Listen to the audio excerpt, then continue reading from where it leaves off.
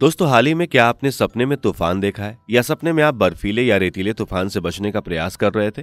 या आप तूफ़ान से जुड़े सपनों का सही अर्थ खोज रहे हैं? तो आज आपकी खोज पूरी होने वाली है, क्योंकि आज के इस वीडियो में हम आपको तूफ़ान से जुड़े सभी सपनों का सही अर्थ बताने वाले हैं। आधी तूफ़ान सुनकर आपके दिमाग में सबसे पहले छवि, तेज हवाएँ, कड़कती बिजली ही बनती होगी। बहुत से लोग ने जीवन में तूफानों का सामना किया भी होगा। बहुत से लोग तूफ़ान को देखकर डर भी जाते हैं। पर क्या आपने कभी सोचा है कि सपने में तूफ़ान दिखाई दे तो उसका क्या अर्थ होता है? यदि हाँ तो दोस्तों, स्वागत है आपका हिंदी ग्रंथ चैनल में, और आज के इस वीडियो में हम तूफ़ान से जुड़े सपनों के बारे में विस्तार से बात करने वाले हैं। तो चलिए वीडियो बिना स्किप करें, अंत तक देखते रहिए। वीडियो शुरू करते हैं। अगर साधारण अर्थ की बात की जाए तो सपने में तूफ़ान देखना एक अशुभ सपना माना जाता है और यह सपना इस बात की ओर संकेत करता है कि आने वाले समय में आपके ऊपर एक साथ बहुत सारी मुसीबतें आ सकती हैं। साथ ही यह सपना इस बात की ओर संकेत करता है कि आने वाले दिनों में आप चिंताओं से घिरे रहेंगे, जिससे आप अपना आर्थिक नुकसान करा बैठेंगे। तो दोस्तों, यह तो हुआ साधारण अर्थ। चलिए अब तूफ़ान से जुड़े सभी विशेष सपनों के बारे में विस्तार से बात करते हैं। सपने में आप देखते हैं कि आप एक तूफ़ान में फंस गए और तूफ़ान के कारण आपकी मौत हो जाती है तो यह सपना एक अशुभ सपना माना जाता है और यह सपना इस बात की ओर संकेत करता है कि आने वाले दिनों में आपके दुश्मन आप पर हावी होने वाले हैं, जिसके कारण आप अपना आत्मविश्वास खो देंगे ऐसा सपना देखने वाले व्यक्ति को भगवान श्री राम की पूजा करनी चाहिए ताकि सपने के बुरे प्रभावों को कम किया जा सके। सपने में आप देखते हैं कि आप किसी ऐसे स्थान पर खड़े हैं जहाँ तूफ़ान के कारण बहुत ज़्यादा नुकसान हो रखा है तो यह सपना एक अशुभ सपना माना जाता है और यह सपना इस बात की ओर संकेत करता है कि आने वाले समय में आपको बहुत बड़ी धन की हानि होने वाली है। ऐसा सपना देखने वाले व्यक्ति को भगवान श्री कृष्ण की पूजा करनी चाहिए ताकि सपनों के बुरे प्रभावों को कम किया जा सके।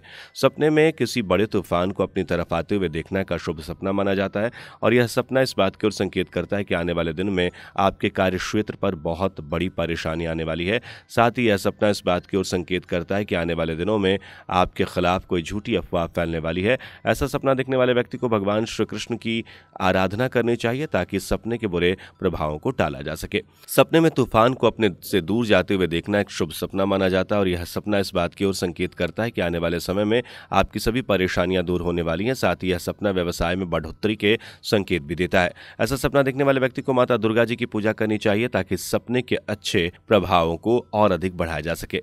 सपने में आप देखते हैं कि आप एक तूफ़ान में फंस चुके हैं और आप कुछ ही देर में तूफ़ान से सुरक्षित बाहर निकल आते हैं तो यह सपना एक शुभ सपना माना जाता है और यह सपना इस बात की ओर संकेत करता है आने वाले दिनों में आप अपनी सभी परेशानियों से, अनचाही मुसीबतों से छुटकारा हासिल करने वाले हैं, यानी आपका जीवन बेहतर होने वाला है। ऐसा सपना दिखने वाले व्यक्ति को भगवान श्री विष्णु जी की पूजा करनी चाहिए ताकि सपने के अच्छे प्रभावों को और अधिक बढ़ाया जा सके। सपने में आप देखते हैं कि आप एक तूफ़ान में फंसे लोगों को बाहर निकाल रहे हैं तो यह सपना एक शुभ सपना माना जाता है और यह सपना इस बात की ओर संकेत करता है कि आने वाले समय में आपका स्वास्थ्य बेहतर होने वाला है, यानी जिस बीमारी से आप लंबे समय से परेशान चल रहे थे, वह बीमारी अब ठीक होने वाली है। ऐसा सपना देखने वाले व्यक्ति को भगवान श्री कृष्ण के बाल रूप यानी लड्डू गोपाल जी की पूजा करनी चाहिए, ताकि सपने के अच्छे प्रभावों को और अधिक बढ़ाया जा सके। सपने में आप किसी तूफ़ान से कोई सुनामी बनते हुए देखते हैं तो यह एक अशुभ सपना माना जाता है, और यह सपना इस बात की ओर संकेत करता है कि आने वाले समय में आपके ऊपर कोई बड़ी परेशानी आने वाली है, यानी आपके जीवन में अचानक किसी बड़े संकेत का प्रवेश होने वाला है, जिसके कारण आपकी सारी वित्तीय योजना योजनाएँ धरी की धरी रह जाएँगी और आप संकट से नहीं उबर पाएँगे। ऐसा सपना देखने वाले व्यक्ति को माता पार्वती की पूजा करनी चाहिए ताकि सपने के बुरे प्रभावों को कम किया जा सके। सपने में आप देखते हैं कि आप किसी रेगिस्तान में घूम रहे हैं और अचानक से आपके सामने एक रेतीला तूफ़ान आ जाता है तो यह सपना एक अशुभ सपना माना जाता है और यह सपना इस बात की ओर संकेत करता है कि आने वाले समय में आप चारों ओर से किसी मुसीबत से घिरने वाले हैं। यदि आप सरकारी या गैर सरकारी नौकरी करते हैं तो यह सपना कार्य क्षेत्र में आपके प्रभाव में अचानक आने वाली कमी की ओर संकेत करता है। यदि आप व्यवसाय करते हैं तो यह सपना इस बात की ओर संकेत करता है कि किसी बाहरी मुसीबत के कारण आपका व्यवसाय मंदा पड़ सकता है। ऐसा सपना देखने वाले व्यक्ति को भगवान श्री हनुमान जी की पूजा करनी चाहिए, ताकि सपने के बुरे प्रभावों को कम किया जा सके। सपने में आप देखते हैं कि आप किसी ऐसी जगह पर घूम रहे हैं, जहाँ बहुत सारी बर्फ़ है, और फिर अचानक से आपके सामने एक बर्फीला तूफ़ान शुरू हो जाता है, और आप उस तूफ़ान में फंस जाते हैं तो यह सपना एक अशुभ सपना माना जाता है, और यह सपना इस बात की ओर संकेत करता है कि आने वाले समय में आपके और आपके परिवार के मध्य दूरियाँ बढ़ने वाली है। साथ ही यह सपना इस बात की ओर संकेत करता है कि आप आने वाले दिनों में किसी किसी व्यक्ति के साथ कोई रिश्ता कायम करने वाले हैं, पर उस रिश्ते में आपको विश्वासघात का सामना करना पड़ेगा। साथ ही यह सपना दो प्रेमियों के मध्य होने वाले टकराव की ओर भी संकेत करता है। ऐसा सपना दिखने वाले व्यक्ति को भगवान शिव जी की पूजा करनी चाहिए ताकि सपने के बुरे प्रभावों को कम किया जा सके। सपने में आप एक तूफ़ान को अपनी ओर आते हुए देखते हैं, फिर अचानक से वह तूफ़ान एक बवंडर का रूप ले लेता है और आप बवंडर में फंस जाते हैं तो यह सपना एक अशुभ सपना माना जाता है और यह सपना इस बात की ओर संकेत करता है कि आने वाले समय में आपके करीबी मित्र और रिश्तेदार आपके खिलाफ साजिश करके आपको मीठी बातों में लेकर किसी बड़ी समस्या में फंसाने वाले हैं, जिससे निकलना बहुत ही मुश्किल है और ऐसे में आपका जीवन तबाह हो सकता है।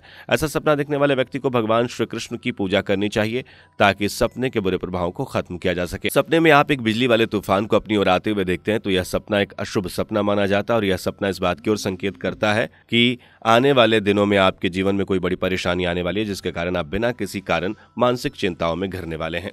अगर आपको अभी तक बताए गए सपनों से कुछ अलग सपना आया है या सपनों के बारे में आपका कोई प्रश्न है या आपको कोई विशेष सपना आया है तो आप हमें नीचे कमेंट में बता सकते हैं, जिससे हम रिसर्च करके उसका वीडियो आपके लिए बना सकें। हमारा वादा है कि हम आपके सपने पर पूरे अध्ययन और विश्लेषण के बाद वीडियो ज़रूर लेकर आएँगे। ये देखिए उन सभी किताबों का भंडार, जिनसे हम आपके सामने प्रूफ और विश्लेषण के साथ सही और पूरी तरह सटीक जानकारी लेकर आते हैं। और कृपया कर ऐसे चैनल से सावधान रहें जो व्यूज़ के चक्कर में गलत जानकारी दे रहे हैं। अगर आपको वीडियो पसंद आया हो तो वीडियो को लाइक करें और चैनल को सब्सक्राइब करें और साथ ही साथ ज़्यादा से ज़्यादा लोगों को शेयर करें, ताकि सभी लोगों तक सही जानकारी पहुँच सके। धन्यवाद।